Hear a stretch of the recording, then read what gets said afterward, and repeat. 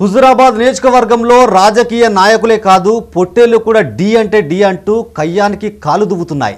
కరీంనగర్ జిల్లా వీనవంక మండలంలో రోడ్డుపై వెళ్తున్న గొర్రెల మందల్లో రెండు పొట్టేళ్ళు ఒకదానిపై ఒకటి డి అంటే డి అని పోటీకి దిగాయి.